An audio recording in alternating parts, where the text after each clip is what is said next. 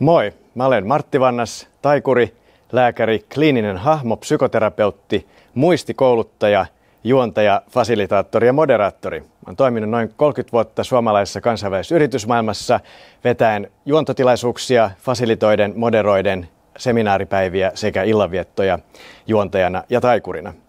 Ja pidän myös muistikoulutuksia, jossa opetan parantamaan jokaisen muistia, sillä muistaminen on taito, jonka kuka tahansa voi oppia.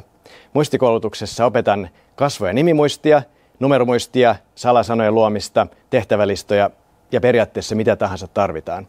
Sillä kun sinä muistat, niin sinut muistetaan paremmin. Muistia voi käyttää missä tahansa ja se tuo arjen ekstraa sekä työelämään että vapaa-aikaan.